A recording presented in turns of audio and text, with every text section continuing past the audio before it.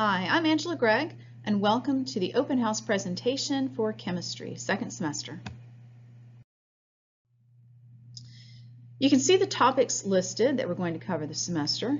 They happen to be very math-heavy topics. There are a lot of calculations involved this semester. Students need to be very comfortable with their algebra skills.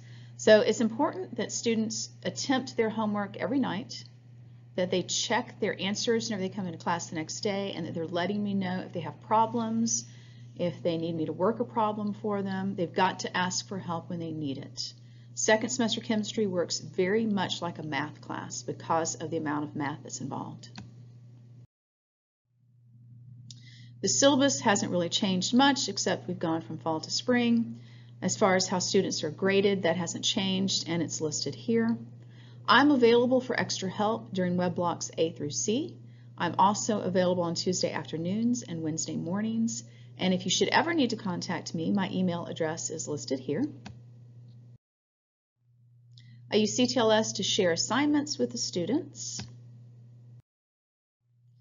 And just to talk about some points for being successful in chemistry in second semester, students need to bring a laptop every day and a calculator, a scientific calculator. Again, it is very much like a math class in second semester. Of course, we're covering the, the, chemistry concepts, but there's a lot of math practice involved.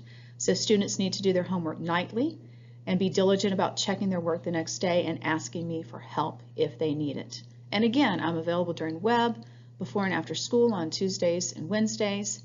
Um, and anytime during class, the students, they need to raise their hand and let me know if they're having a problem. I am always happy to help them. If you need contact me. Again, my email is listed here. And thank you for listening.